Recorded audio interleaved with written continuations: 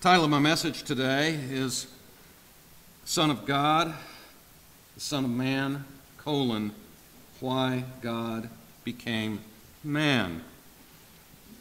And um, this is a, a, very difficult topic to give at this time in the afternoon. Um, we're looking at the person of Christ. I told my wife what I was speaking on. I said, Can you do something practical? And I said, um, well, I really think the person of Christ is practical. Um, but it won't be till the very end that I make what many of us would call practical comments. So um, the prayer that was given uh, today was mightily needed uh, for this particular topic. We've had the scripture reading. Uh, Daniel 7 is one of the passages that indeed we will be looking at. So let's open in just a brief word of prayer again. Father, we do ask that you would be with us. Pray that as we reflect on your word, that it would mold our lives and that we, we would increasingly become conformed to the image of your Son. For your glory we pray. Amen.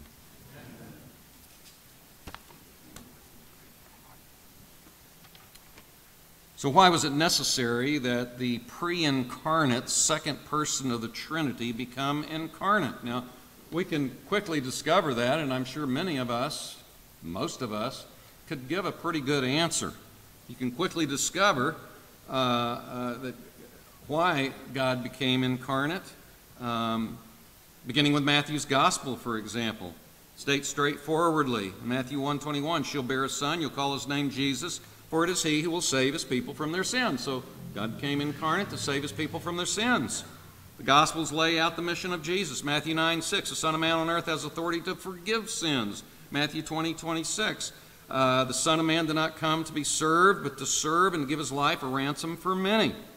And so Luke 19, 10 uh, says the Son of Man came to seek and to save that which was lost. Now, when you look at the title Son of God, those are all references to the Son of Man. Son of God, it's the same thing perhaps not as explicit. John 20, 31 says, But these have been written that you may believe, that is, the Gospel of John has been written, that you may believe that Jesus is the Christ, the Son of God, and that believing you may have life in his name. Galatians 2.20, I've been crucified with Christ, I live on, it's not I who live, but it's Christ who lives in me. And the life I live in the flesh, I live by faith uh, uh, of the Son of God who loved me and gave himself up for me. 1 John 3 8, the one who practices sin is of the devil, for the devil has sinned from the beginning. The Son of God appeared for this purpose, that he might destroy the works of the devil. So, um, basically, the same things are said about uh, the Son of God as the Son of Man. The mission is the same to come and save uh, God's people from their sin, to destroy the works of the devil. Um, so, very, very similar. Um, we should ask why uh, does Jesus stress so much his titles, Son of God and Son of Man? Now, in some way, we would think they were related because the, things, same things are stated of them. And what we just read, the mission of both of them is to uh, save people from their sin, destroy and destroy the works of the devil. So, how do these two titles relate to one another? I remember uh, in seminary, I thought, well, Son of God, that stresses Jesus' deity, Son of Man is humanity. And certainly, uh, it is not wrong to think that way. But there's much more packed into those titles than that. So, why was it necessary that the pre incarnate second person of the Trinity should become incarnate? Well, one important clue to this is the Old Testament. What does the Old Testament affirm about the necessity of an end time Son of Man and end time Son of God? Because it does. Usually we relate these two titles to the New Testament. But these are titles found in the Old Testament. And if you can decide what they mean in the Old Testament, you're going to go a long way to understanding what they mean in the New Testament. Because the Old interprets the New and the New interprets the Old. You've got to go back and forth. Most discussions of these terms, Son of God and Son of Man, are in the Gospels. Rarely does one go to the Old Testament. If they do, they go to Daniel 7, where it talks about a son of man that uh, was read about today. That, that text is often discussed, but there are many others. Now, uh, one important clue about what the Old Testament says about the Son of Man and the Son of God, interestingly, is given to us again in the New Testament, where in Luke 3:38, at the end of the genealogy, Luke directs us to the Old Testament by saying Jesus is ultimately related to quote the son of Seth, the son of Adam, the Son of God.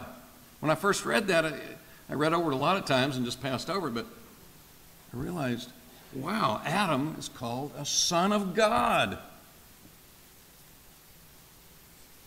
Even before the Lord Jesus comes. Presumably, uh, Luke is giving that name to Adam because it was a name that was understood long before the time of the New Testament. Now, the rest of our time this afternoon will be dedicated to answering how the Old Testament helps us better understand the relationship of these titles, Son of Man and Son of God. So, as you go home and in following months and years, prayerfully, I'm on the right track. I, prayerfully, what I say will, will, will be helpful.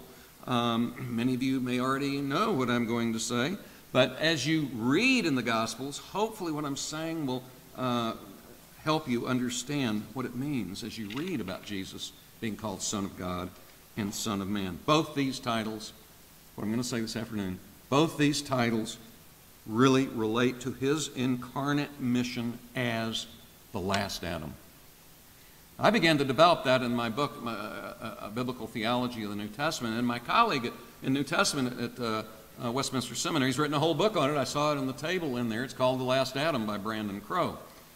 It's very rare to think about Jesus as the last Adam in the Gospels. Because the phrase isn't used. That's Paul. That's Pauline Christology. Usually people don't think about it in the Gospels. I would contend, indeed, if you understand Son of Man and Son of God, that, in fact, that is exactly what is going on. So both of these titles in the Old Testament are sometimes references to someone inheriting the position of Adam. What do we mean by that? The rest of our time this afternoon, we're going to elaborate. So, let's look at the Old Testament background of the Son of Man. And the first thing we can say about the Son of Man is, in Hebrew, it's Ben Adam. Um, that means son of Adam, straightforwardly translated. Son of man is son of Adam. That's really what it means. Not son of humanity in general? Well, yes, it is, in the sense that Adam's the head of humanity.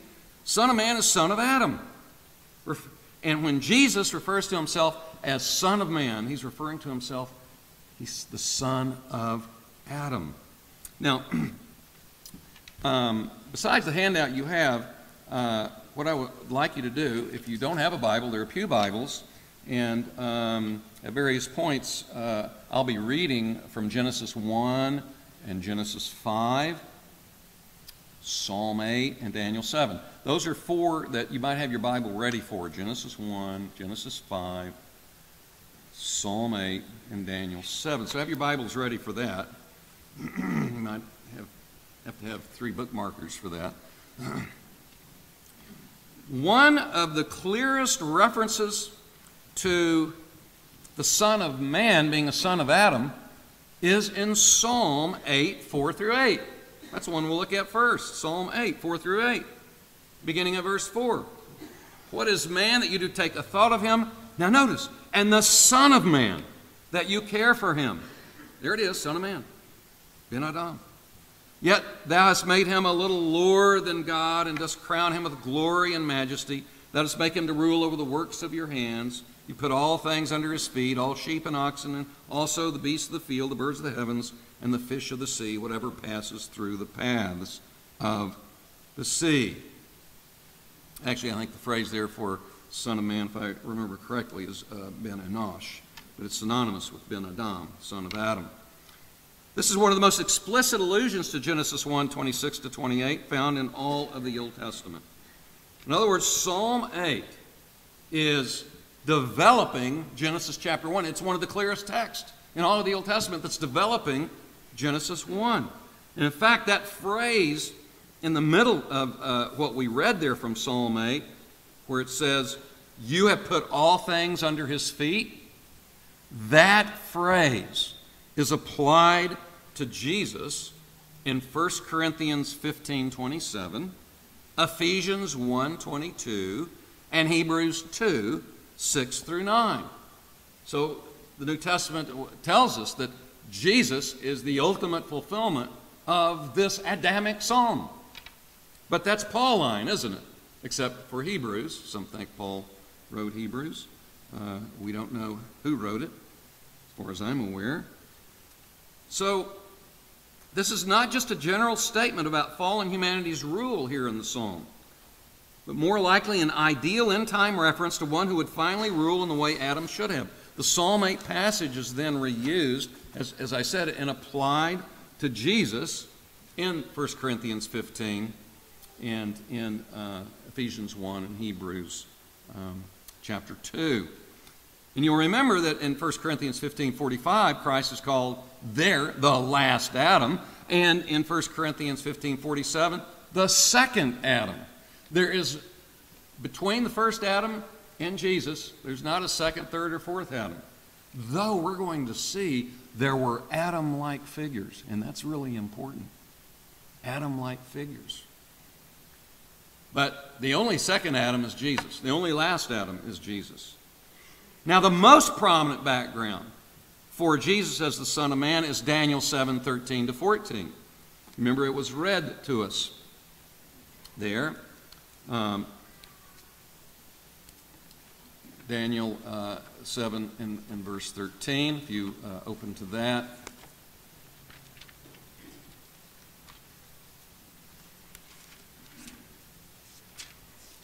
And there we find the statement in verse 13 I kept looking in the night visions, behold, the clouds of the heaven, one like a son of man was coming, and he came up to the Ancient of Days and was presented before him. And to him was given dominion, glory, and a kingdom that all the peoples, nations, and men of every language might serve him. His dominion is an everlasting dominion which will not pass away. His kingdom is one which will not be destroyed. Now, likely, this itself, this is an example of the use of the Old Testament and the Old. This is referring to Psalm 8. Psalm 8 was written before this Daniel passage. And so, in the prophecy of this coming Son of Man, Daniel draws from the psalm. Of course, it's a vision. God intended for him to draw from the psalm. God made the vision like the psalm. And so uh, you'll notice that in Psalm 8 and in Daniel 7, there are three things in common. Number one, the phrase Son of Man. Two, that Son of Man is ruler over all creation. And three, he's ruler over all beasts.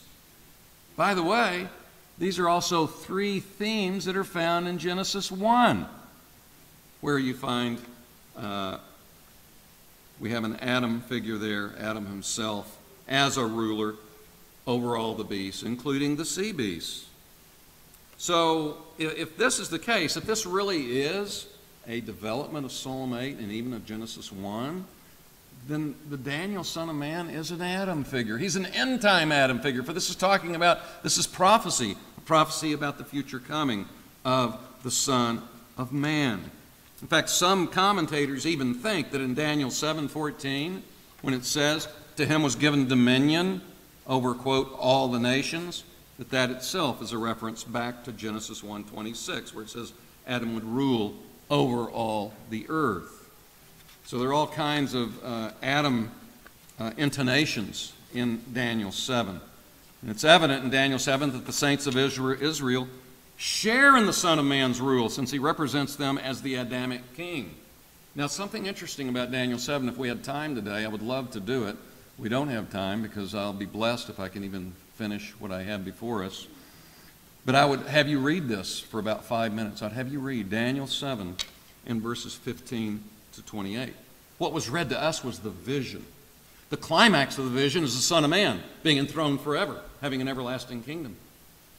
If you were to read, I love to do this with my class, I say, okay, verses 1 to 14 is a vision. And verses 15 to 28 is the interpretation of the vision because the angel comes and says, uh, here's the interpretation in verse 16. And I tell my students something very profound.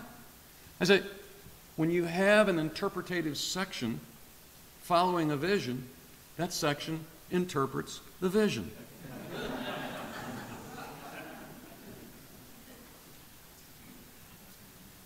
and so I said, okay, if the Son of Man's the climax of the vision, read the rest of the interpretative section and tell me where the Son of Man is mentioned.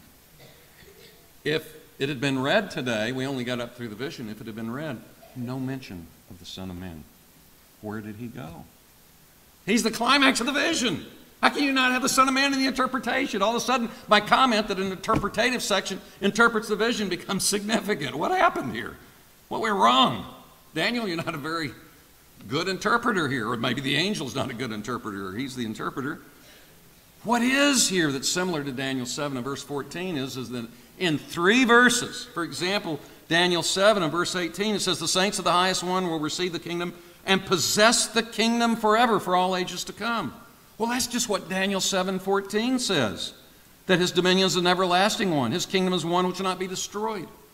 And then verse 22, the same thing. At the end, it says, The time arrived for the saints to take possession of the kingdom. In verse 27, then the sovereignty, dominion, greatness of all the kingdoms under the whole heaven will be given to the people of the saints of the highest one. His kingdom will be an everlasting kingdom.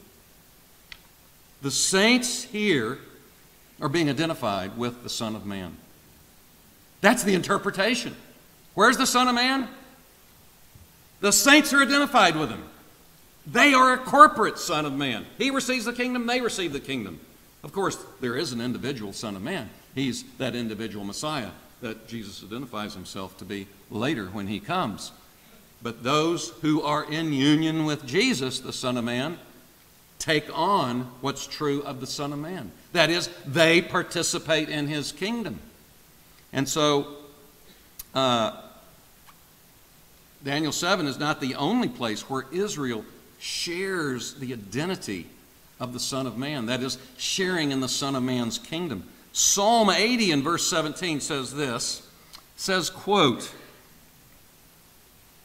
Let your hand be upon the man that, speaking of Israel here, by the way, this is speaking of Israel. Let, uh, let your hand be upon the man of your right hand, upon the Son of Man who you made strong for yourself. In the context of the psalm, this is speaking of the nation Israel. And it's saying in some way they're identified, they're sons of Adam. I usually don't think, in past years, I didn't think of Israel as a son of Adam. But that's what this psalm is saying. And Daniel 7 is saying they have some connection with Adam's kingdom, as we just saw. They're sons of Adam, destined to inherit the first Adam's rule because they're represented by and share in the end time kingly Son of Man's rule the end time Adam's rule. When Jesus refers to himself as the Son of Man in the Gospels, he understands himself as the beginning fulfillment of this figure in Daniel 7 13 to 14. He is an end time Adam beginning to rule in the midst of his ministry, even if you don't have eyes to see it or ears to hear it in the midst of that ministry, as the majority of uh, Jewish people did not. Now, there are three kinds of Son of Man sayings in the, in the Gospels. One is, Jesus talks about the Son of Man has come, doesn't have a place to lay his head. These are his pre crucifixion Son of Man sayings. Then there are sayings that, that have the Son of Man has come and he must die. Those are the crucifixion sayings of the Son of Man. And then there are the future sayings of the Son of Man, which uh, refer to him coming at the very end of the age to consummate all things, though there is a somewhat future reference to him coming at certain points in 70 AD uh, to destroy Jerusalem. So Jesus comes as the Son of Man, dies as the Son of Man, judges Israel in 70 AD as the Son of Man, and consummates history as the Son of Man. These Adamic applications that are present in Daniel 7 show that Jesus' application of Daniel to himself highlights Jesus' kingship then as the last Adam. Well, that's Son of Man. What makes sense? Son of Man, Ben Adam, Son of Adam. How about Son of God? How does that relate to Adam? Adam, I believe, was conceived of as a son of God, though that exact phrase is not found in Genesis 1 to 3. But you, want to make, um, you don't want to make the mistake in studying the Bible of thinking that you don't have the term, that you don't have the concept. You can have, for example, just think, for those of you who know Greek, hagiadzo uh, is a typical word for sanctification. But if you thought you were studying all the places in the New Testament about sanctification when you studied that word and that's it, you would be wrong. There are other words, there are other discussions about sanctification. You've got to extend uh, this to concepts.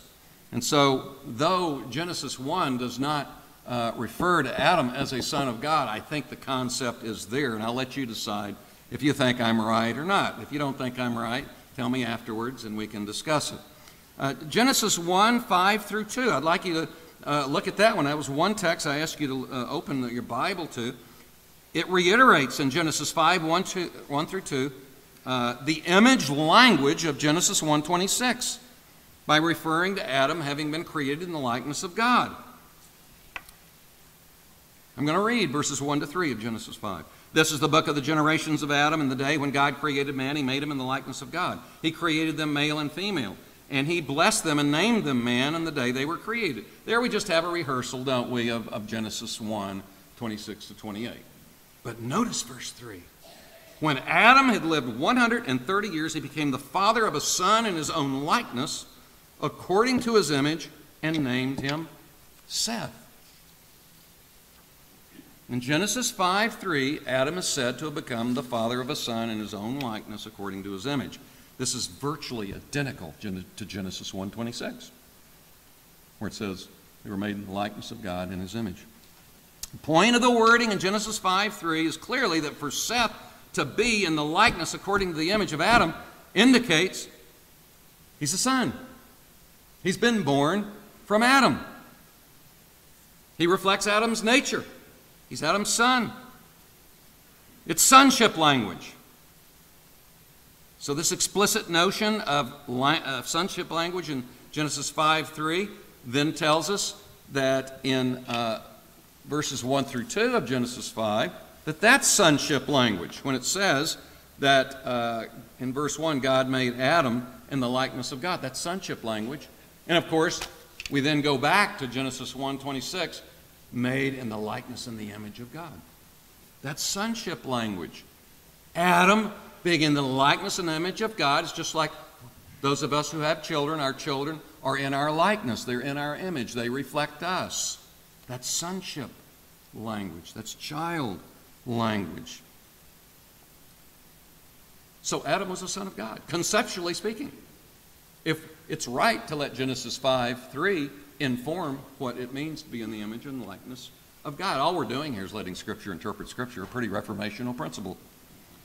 The notion of divine sonship occurs again in Exodus. This is interesting.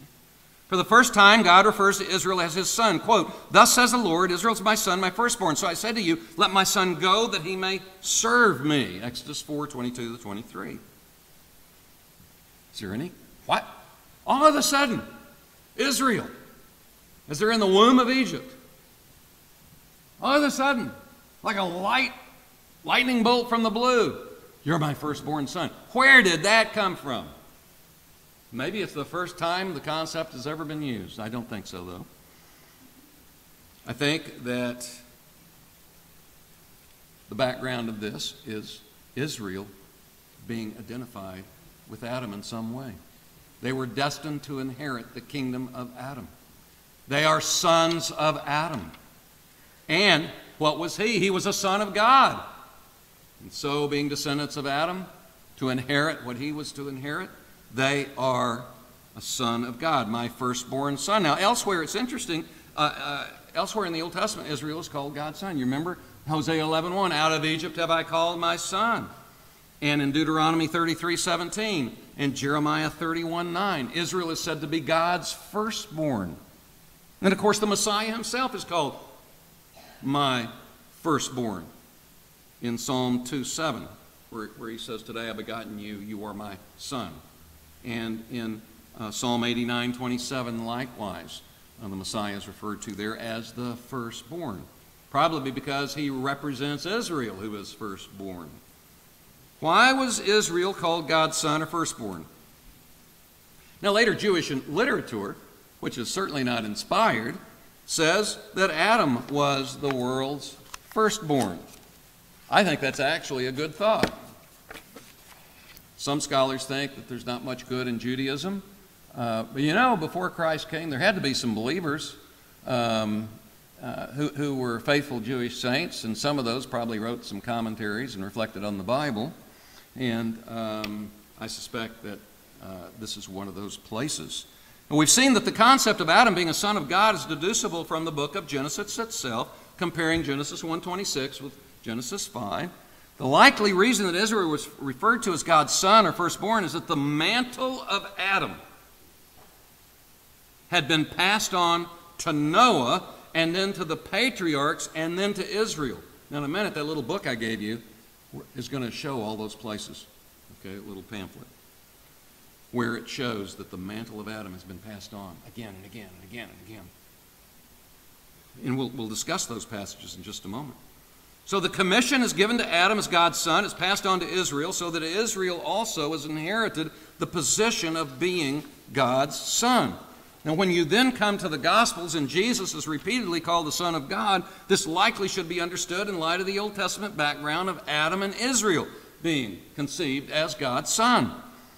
It's a reference to Jesus being and doing what the first Adam and Israel were accountable for doing and should have done. Jesus is not only a completely obedient human son, but of course, he's also a divine son in a way that Adam never could have been, since he's fully obedient. Now remember, it all of a sudden now makes sense why Luke says what he does at the end of the genealogy. Remember when he says, that Seth was the son of Adam, the son of God. Adam was the son of God. That's where it comes from. Luke is immersed in the Old Testament. The concept that Adam was a son. It's important that Luke ends his third chapter with this reference, since the directly following narrative in Luke 4 places Jesus as the Son of God in the wilderness being tempted with the same temptations, not only of Israel, but of Adam. You remember when Jesus goes in? He quotes Deuteronomy uh, to each temptation. And uh, usually Deuteronomy 6 or 8. And each time he quotes a response that Israel should have had to a temptation that they failed in. He quotes it because he's faithfully obeying where Israel didn't. He is true Israel.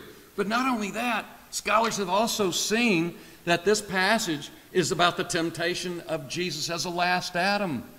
Because remember, Luke ends with Adam the Son of God. Then you go right into the temptation of Jesus. And the temptations are the same kind of temptations in the garden. The lust of the eyes. If Jesus had jumped off the pinnacle of the uh, uh, temple, all eyes would have seen him and perhaps proclaimed him Messiah at that point. The lust of the flesh, the food temptation, the bread temptation, the pride of life, um, where Jesus was offered all the kingdoms of the world, and Eve uh, hoped to um, gain all the wisdom that uh, only God could have. Now, the further connection of these titles in the Old Testament. Let's look further. Both Son of Man and Son of God refer to Adam in the Old Testament, and therefore both refer to Jesus as the end time Adam.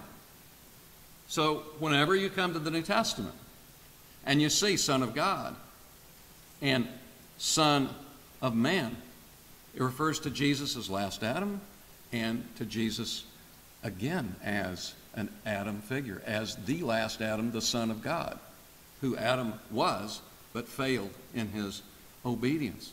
That's the background. But also, when you see Son of Man and Son of God, it refers to Israel. Why? Because Israel was a corporate Adam as Son of God and Son of Man. He's true Adam, he's true Israel. It all comes together there. In the light of this, it's evident that Son of God and Son of Man are both sometimes references to inheriting an Adamic position. In fact, in this regard, it is unlikely coincidental that Son of Man and Son of God are often used interchangeably in the New Testament. In Judaism as well, but in the New Testament. But before we look at that, which we'll look at in just one moment, Daniel 7:13 itself where it talks about the Son of Man coming on the clouds. We heard that read. That is not just the coming of a human being. It is. We talked about how that relates to him being related to Adam. But in fact, coming on the clouds is very significant. The only person that comes on clouds elsewhere in the Old Testament is who?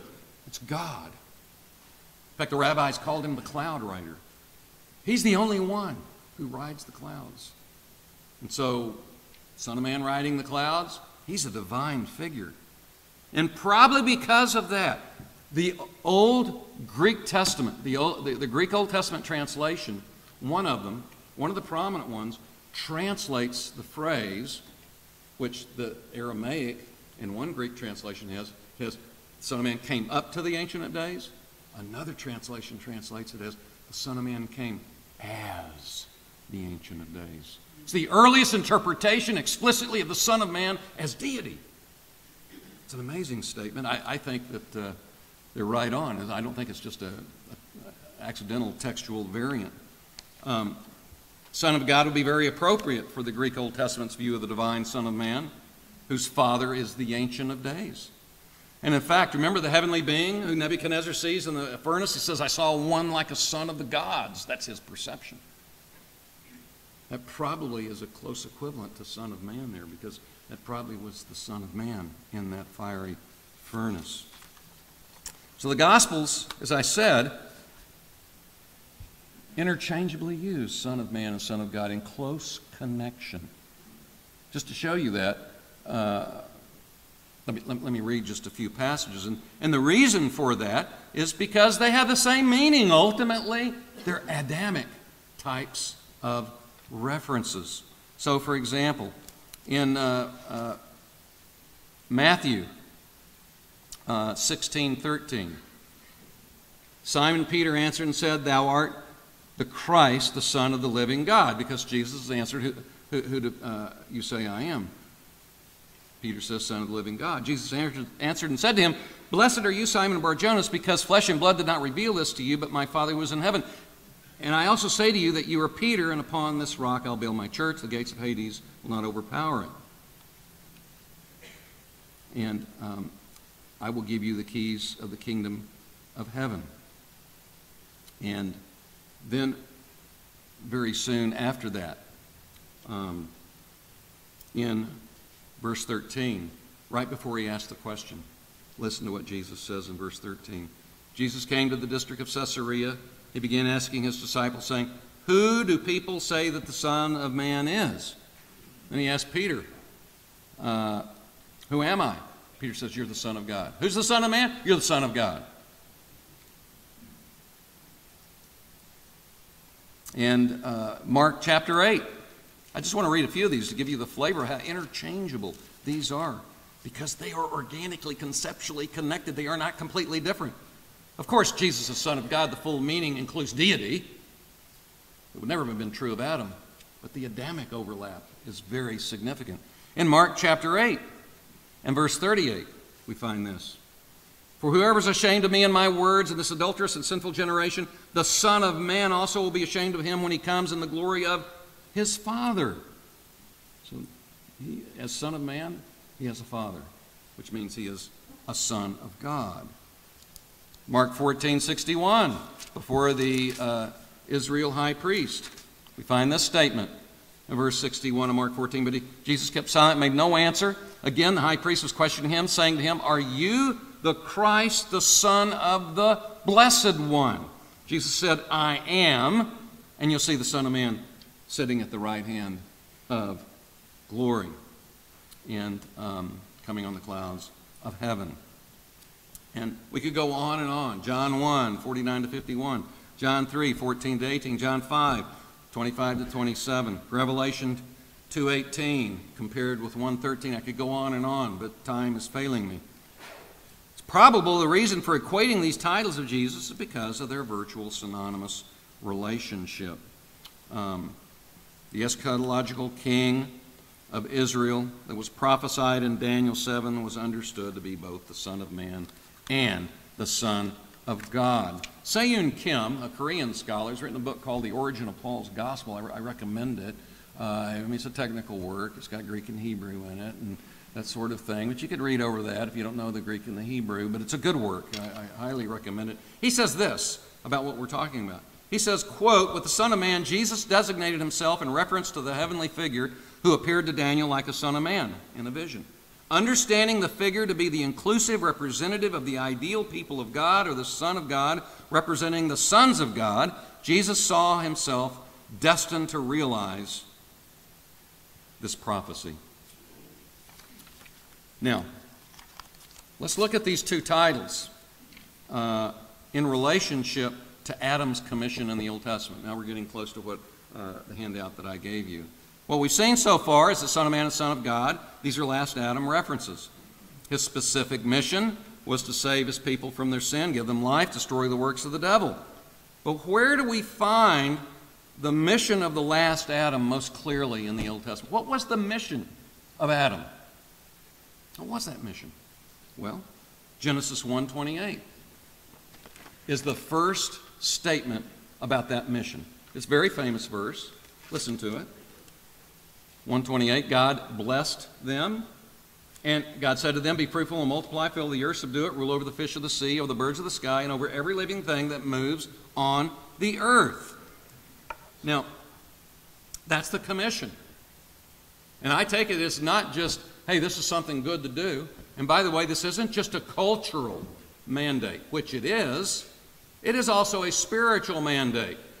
For in multiplying and increasing, those are his progeny, is he to multiply and, and produce robots or puppets. No, human beings who are in the image of God. Remember Seth in Genesis 5 3. And what do human beings in the likeness of God do? They reflect God.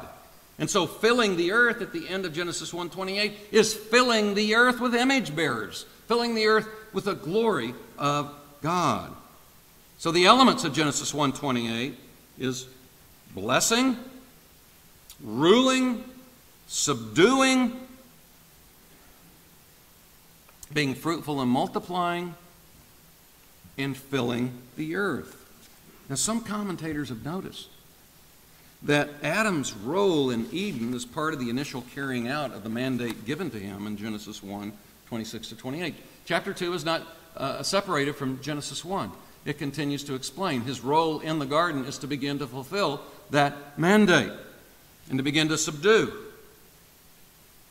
So, even uh, beasts like snakes, he should have subdued.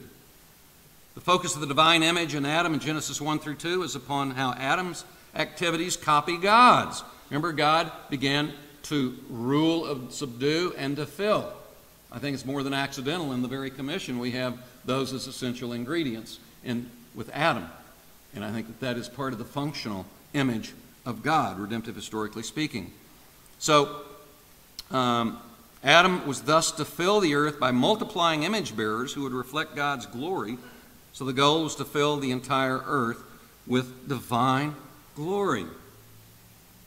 Now Adam's commission in Genesis 2:15 says, "The Lord God took the man, put him into the garden of Eden to cultivate it and keep it." That word for cultivate in Hebrew is pronounced abad, and uh, the word for keep or guard is shamer. I got interested in those words, so I said, what do those words mean when they're used together elsewhere? Let's let Scripture interpret Scripture. And so I looked at that word combination. Ten times it refers to Israel serving and obeying God. It doesn't mean cultivate, but serving and obeying God. Five times it refers to priests serving and obeying or uh, God or, keeping uh, uh, the temple service. And so these, these are words of uh, really priesthood and worship here. Um, even if, it, if, if, there's an element of cultivating, it was in service to God. Um, and actually, um, what Adam was in, it makes sense that such priestly language would be, would be used because probably Genesis 2, the Garden of Eden, there is a temple. Now, the word temple isn't used there, but let's not make the, uh, uh, the word concept mistake. If it uh, looks like a temple and it feels like a temple, tastes like a temple, and smells like a temple, it probably is a temple. And uh, I have, you know, there, there, are about 10 things about Eden that are very parallel with the temple in Israel. But Ezekiel 28 settles the matter. Ezekiel 28 says that the being, uh, who I think was Adam, in the Garden of Eden says he was cast out of the sanctuaries of Eden. There were sanctuaries in Eden. It was a sanctuary. And Adam was placed there. What do you do with images in the ancient Near East? You put them in temples. But those are dead images. Adam was the living image of God, and he's placed into the temple in Eden. So it's apparent that knowing and being obedient to God's word was crucial for Adam and Eve to carry out the task of Genesis 1 26 to 28. Knowing God's will is expressed in His word of command as part of the functional manner in which humanity was to reflect the divine image, which of course assumes that Adam was certainly ontologically created with the rational and moral capacities to carry out such a command. The first couple were to think God's thoughts after him and teach their progeny God's word so that they would learn to reflect the glory of God's image. Think his thoughts after him, you see. So Adam and uh, his wife's knowledge of God included remembering God's word addressed to Adam in Genesis 2 16 to 17. Remember, from any tree of the garden you may eat. So that's a positive command. But from the tree of the knowledge of good and evil you shall not eat, negative. And then a warning, for in the day that you eat from it, you shall surely die. When confronted by the satanic serpent, Adam's wife responds to the serpent by quoting Genesis 2 16 to 17 and changes the wording in at least three major places. Now, a number of scholars have recognized this. It's not uh, um, unique to me, and, and, and I, I have a colleague who uh, thinks I'm wrong in this. He doesn't think there's any significance to the change. I think there is. And so here, here's my presentation on that. Um, each of the changes, by the way, have theological significance when she responds to the serpent. First, she minimizes their privileges by saying, We may eat, whereas God said, You may freely eat. And not only say freely, He said, From any tree. She says, From the, the fruit of the tree we may eat. She limits even what they can eat from. Second, Eve minimizes the judgment by saying, Lest you die. But God originally said, You'll die, die. In Hebrew, You'll surely die. She's the first liberal. Diluting an eternal judgment. And then she maximized the prohibition by affirming, You shall not touch it. God never said, Don't touch. She becomes the first Pharisee. For God had originally said, Only they shall not eat it. Lowering the guard of God's word, let a flood of sin come in. If Adam had faithfully obeyed the commission, the following things would have happened to him. And I don't have time to demonstrate each of these, but this is what I see uh, would have happened. He would have been confirmed in consummate end time blessings. What were those? One, he would have had eternal security. Two, God's glory would have filled the whole earth. Three, he would have had eternal life because he would have been able to eat of the tree um, of, the, uh, of, of life. Four, the earth would have become incorruptible, as Adam would have been incorruptible. Five, he would have rested, as God had rested.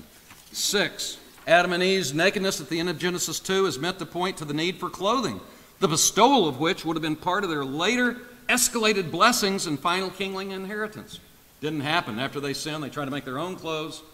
That's ripped off of them, and God gives them uh, these skins that point toward their final consummate um, blessing when they uh, at the end of time. So Adam would have experienced all these heightened conditions if he had been faithful.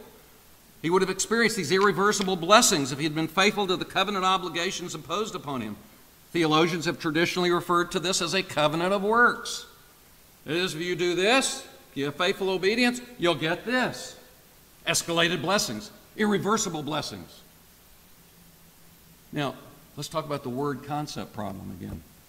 Many think there's no covenant in Genesis 2 or 3 or 1. The word isn't used. But if you look at uh, the nature of a covenant, um, by the way, marriage isn't mentioned as a covenant either at the end of Genesis 2, but Malachi chapter 2 mentions it as a covenant. So I think there, conceptually there is a covenant. God tells man, if you do this, you will get this. If you don't, you'll get a curse. So cursings and blessings is a result of either uh, obedience or disobedience. As we know, Adam failed in faithfully fulfilling and obeying this commission. Therefore, God raises up other Adam like figures in the Old Testament to whom this kingly and priestly commission is passed on. And we'll find that some changes in the commission occur as a result of sin entering into the world. Adam's descendants, like him, however, all fail in sin in the likeness of Adam's offense, Romans 5.14. Hosea likewise says, chapter 6 and verse 7, But like Adam, Israel has transgressed the covenant. Failure will continue until there arises a last Adam, who will finally fulfill the commission on behalf of humanity. And the reason all Adam's descendants fail is because they're all represented by that first Adam. See, they're different. They don't have a representative function. That first Adam had a representative function that guaranteed that they, as Adam figures patterned after him, would fail. And of course, they're, they're, they're not sinless. That's also a difference between uh, their situation as an Adam like figure in the first Adam. But notice how Adam's commission is passed on to others in the Old Testament epic. And this is where my little handout comes in. Genesis 1:28 is the first commission. That commission is repeated and applied to Noah. You see there, Genesis 9, 1, 6, and 7. I've underlined where the terms are the same between uh, the commission in Genesis 1:28 and chapter 9, and so elsewhere. I'm not going to obviously read all of this, but I want it to make an impact on you. Notice that Noah is an Adam like figure. He's given the same commission twice as Adam. Genesis 12, 2 to 3. Abraham, I'll bless you, I'll bless you, all the families of the earth. I'll multiply you exceedingly, I'll make you exceedingly fruitful. And in Genesis 12, 2 and 3, um, he says, Be a blessing. There's a command there, it's not all promise. The commission changes a little bit because there's not a promise connected with Adam's and Noah's, but with the, prom, the promise and the commission repeated to the patriarchs, you begin to get not just command, but also promise. And notice how, how this continues in, in, in your pamphlet there. Uh, Genesis 22, 17 to 18 repeats the commission. And then in Genesis 26, it's repeated then to Isaac. In Genesis 28, all the way to 35, it's repeated to Jacob. And then to Israel. And um, Israel actually begins to fulfill it. Notice uh, in uh, Exodus 1, verse 7, on page 3. Now Israel lived in the land of Egypt, in Goshen, and they acquired property in it, and were fruitful and became very numerous. Uh, that, that was 47, 27. Uh, Exodus 1 7, they were fruitful, increased greatly, they multiplied, the land was filled, and continues to refer to that. But notice my comments at the bottom of page 3. After the events of Israel's rebellious uh, attitude in Egypt, and at the event of the golden calf, it becomes clear that the promise was not consummated in the first generation of Israel, since they did not obey fully the commission. Moses prays that nevertheless God will fulfill the promise. So the promise the nation will fulfill the commission at some point in the future is again reiterated as it was to the patriarchs in Genesis. Look at that. All the way, page 4, all the way from Leviticus down to 2 Samuel. These are all promises that at some point the commission will be fulfilled. God says it will be. He prophesies it will be fulfilled. These are all Adamic commissions, now applied to Israel, but in time Israel. Nobody's been able to fulfill it. It will be fulfilled in the end time. And who will fulfill it? The last Adam, the Son of God, the Son of Man. Notice the bottom of page 4. Despite the promise of future blessing, at various points throughout the succeeding history of Israel, the language of the Genesis 128 Commission is again reapplied to individual Israelites or the nation to indicate some degree of beginning fulfillment. So again, just as in Egypt, they were seen as multiplying and filling the land, there are times in Israel's history where they began to do that. But it doesn't take. They cannot fully obey. Notice bottom of page 5. Sinful events occur that make it clear that the king and nation only partly accomplished the Adamic Commission. Uh, ultimately, they also fail in their attempting to do what Adam and their forefathers had failed to do. There's reiteration of the promise that end time Israel and her end time king will finally succeed, however, in fully accomplishing the Adamic Commission. And then here are the promises again reiterated. Psalm 8 that I read for you. Uh, Psalm 72 is about the end time last Adam. Notice also uh, Isaiah 52, 1 to 3. Then I blessed him and multiplied him. So you see how that's beginning to occur in Israel's history. Um,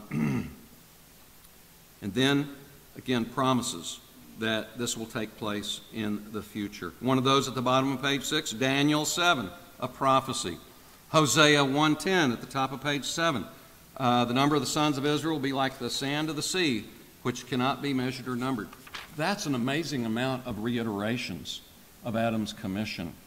And what it shows is that they were to do something, and they did not do it. And one came who did do it as Son of God, as Son of Man, as the last Adam.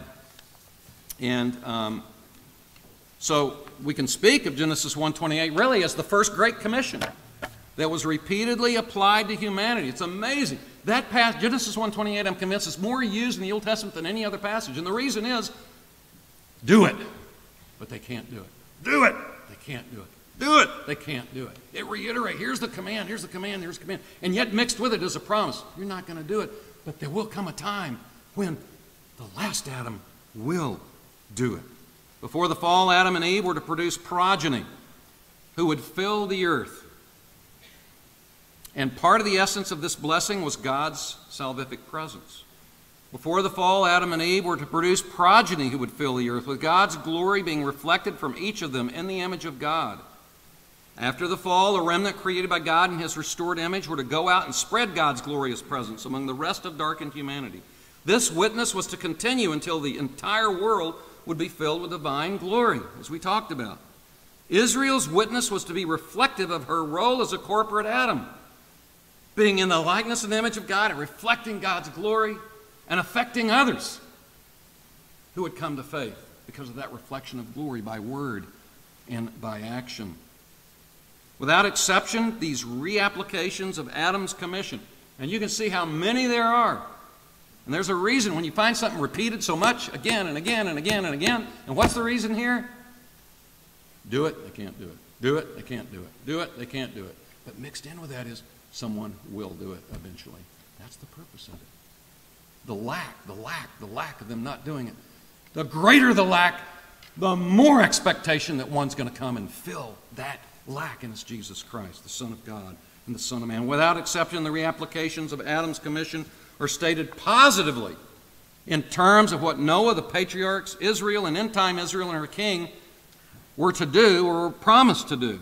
Always, and, and I want to underscore this for a minute, always the expression is that of actual conquering of the land, that of actual increasing and multiplying the population, that of filling the promised land with image bearers who reflect God's glory. Never, this is interesting, never is there a hint in these repeated Adamic commissions that we have seen, there's never a hint of death by the last Adam. That's interesting.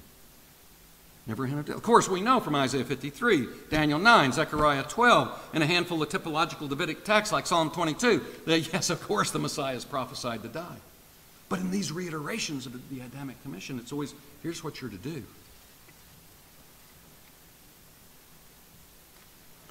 The Adamic expectations and promises of obedience for Israel's patriarchs, the nation and her king, are always stated in positive terms of what they were to do or were promised to do, though they all fell short. The upshot of this, why am I emphasizing it, is that that aspect of Jesus' mission of dying for sin, which we talked about at the very beginning of, of, of our time uh, this afternoon, that's certainly the fulfillment of Old Testament prophecy. But that aspect of his mission in giving and imputing positive righteousness is underscored by these repeated Adamic commissions. He did what Adam should have done in order that he would receive the reward and in order that all those he represented would receive the reward of life eternal, those eschatological blessings. He perfectly performs the covenant of works.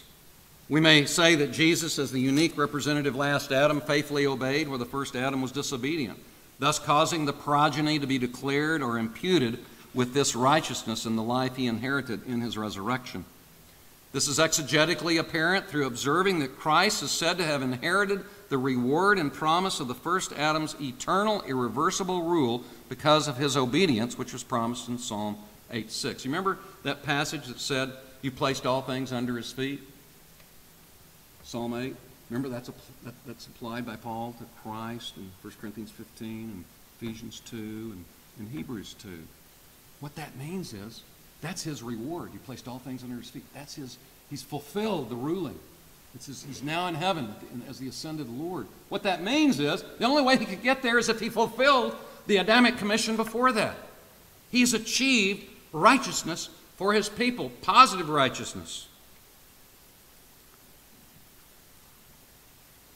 Now, though many evangelicals and some reformed evangelicals, some reformed Presbyterians, deny there's any biblical basis for the imputation of Christ's positive righteousness, once one understands Christ as accomplishing all these reiterations of what Adam should have done, he's accomplishing righteousness in his earthly ministry and passes that on to us.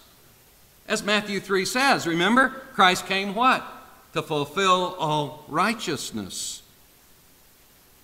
So, this is part of the warp and woof. These are the threads connecting old to the new, all these reiterations. Christ finally does what Adam, Noah, the patriarchs, and Israel should have done, and in doing so, he is true Adam and true Israel. One cannot say that Jesus' righteousness only qualified him to die. It did. But his true righteousness also was a fulfillment of the Adamic condition. It's what Adam should have done that he did, and which he represents us with that Adamic righteousness. He's inherited the reward of eternal life.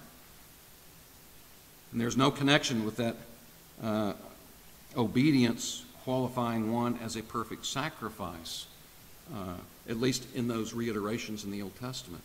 Of course, what's interesting is Jesus went further in his obedience than the first Adam was obligated to do. How so?